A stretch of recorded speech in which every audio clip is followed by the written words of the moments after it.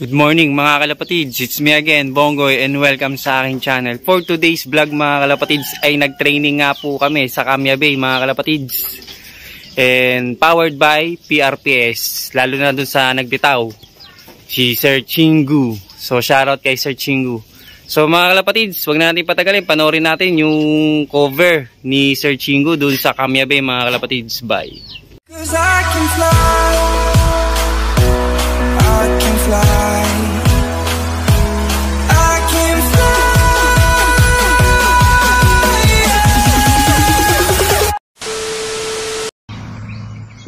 Good morning mga kalapatids Good morning PRPS Club Puerto Princesa, Palawan Dito na po tayo ngayon sa Kamya Bay At ito na po yung mga ibon ng mga kalapatids natin So bali ito ay mga 77 pirasong mga ibon. So kanina pa tayo dito kaya na pa sila nagpapahinga. So mamaya maya mga 6, exact 6. Time check 5:50 ng umaga. So yan mga kalapatids, yan po yung mga ibon ninyo. Okay na lahat para sabay-sabay tayo makapag Brooks Point club training ito mga kalapatids para sa nalalapit na mini race ng Brooks Point yan. Dito pa yung iba sa loob. Iba nasa karton.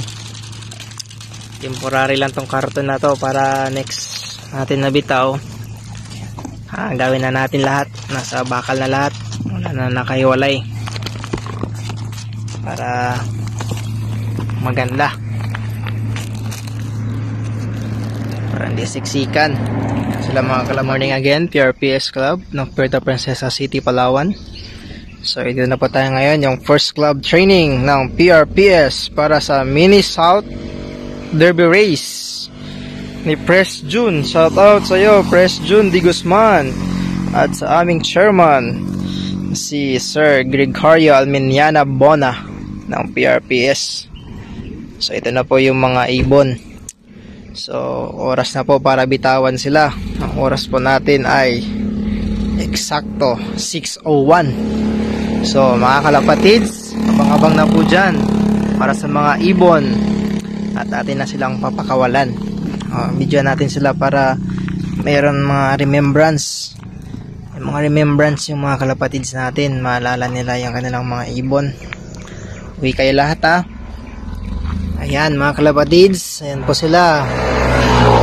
Ito San Carlos Patuwi oh kila Sir Tulits sila Sir Jay Ocampo at iba bang mga ibon.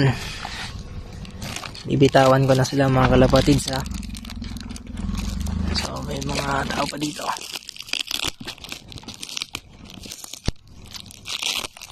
Atin na silang papakawalan okay mga kalapatids abang na lang po kayo dyan. Ayan na sila mga kalapatids unahin natin yung nasa karton. Yan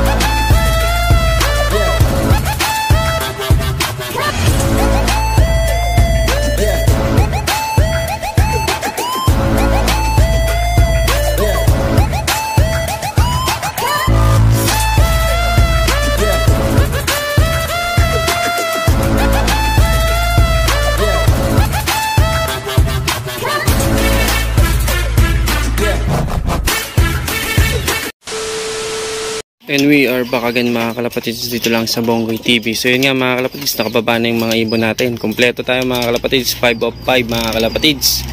At pinakain na rin natin ng sneaky mix ang ating mga ibon. Ngayon naman ay mga patoka yung nilagay natin mga kalapatids. So ito yung mga ibon natin mga kalapatids. Medyo nahihiya pa mo kumain mga kalapatids. So thank you sa nag-release sa ating ibon mga kalapatids kay Sir Chingu. And shoutout na rin sa lahat ng mga kalapatids natin dyan, PRPS and PFCO. Good luck sa mga paris ng PFCO mga kalapatids and sa upcoming race ng PRPS. So, keep safe mga kalapatids. It's me, Bongoy.